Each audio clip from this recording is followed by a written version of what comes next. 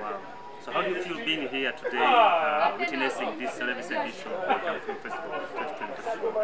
I feel amazing. Good setting, good people, beautiful people. So we are happy to, to meet you. Uh, thank you for giving us uh, an interview on Bambo TV.